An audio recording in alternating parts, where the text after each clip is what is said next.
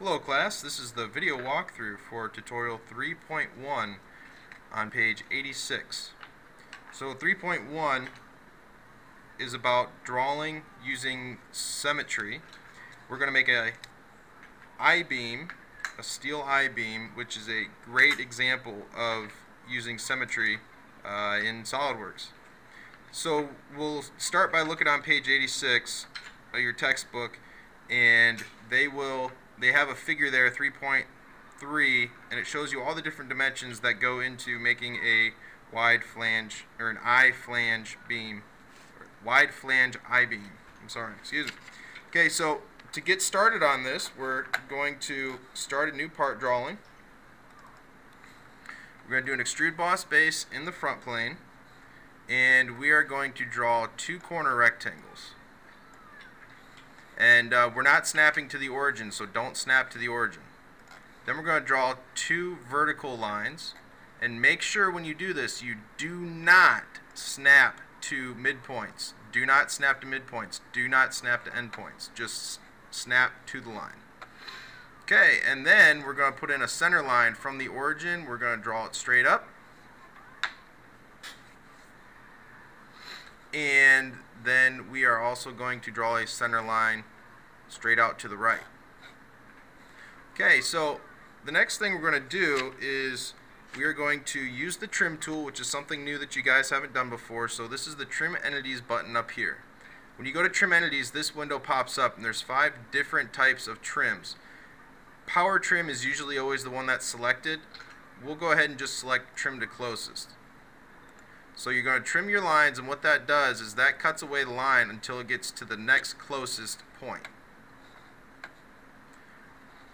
Next, uh, it's, it's time to start doing some uh, symmetry. So we're going to select our top line and hold shift, middle line hold shift, and the bottom line and hold shift and symmetric.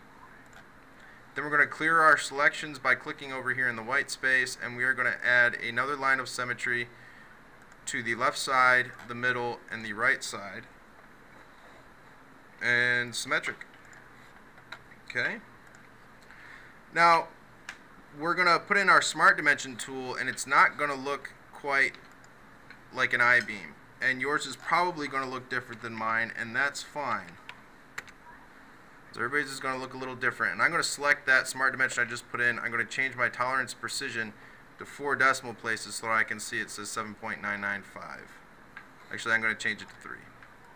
There we go. Okay, and then I'm going to smart dimension from the top to the bottom, and that one is actually just going to be 8. The one in the center is 0.285. Okay, and by this point, your drawing probably looks very different than mine, but it has the general, same general rectangle on top, rectangle on the bottom, and thin rectangle in the middle.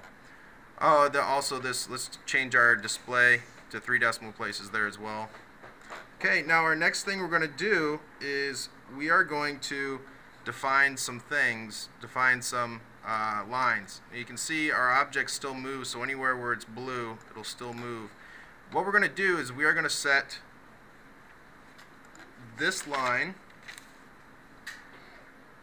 I'm sorry, we're going to set this line and this line, the two left lines collinear, the two right lines collinear, and we are going to add a dimension here to here that is 0.435 and we will make that a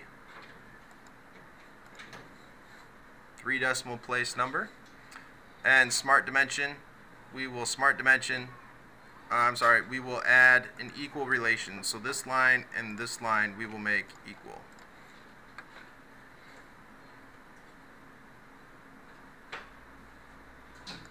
Okay, and now we just have this left to define.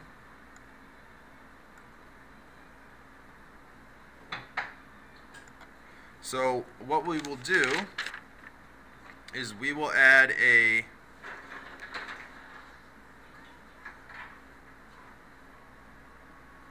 we will add a symmetric relation to the left, the middle, and the right. symmetric. There we go. Now we are fully defined. To hit the purple arrow in the upper right hand corner and we are going to extrude out our wide flange beam to um let's see. What does the book say? 12 inches. Okay. Last thing we need to do is add a fillet. And our fillet size is going to be um, 0.375 so 375 thou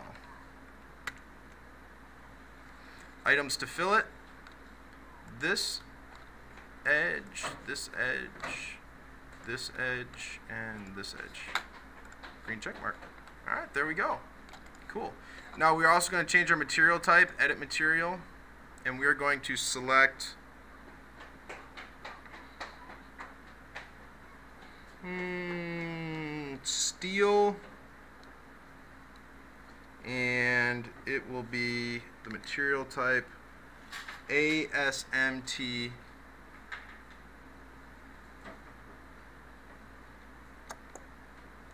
A36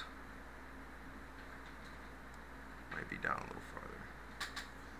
ASTM there it is A36 apply close. Okay so now all the mass properties for that steel are now in this part and what we're going to do is we're going to check to see what our area is here of this beam. So if we go to the front of the beam, evaluate section properties and in section properties we're just going to select the front face of that flange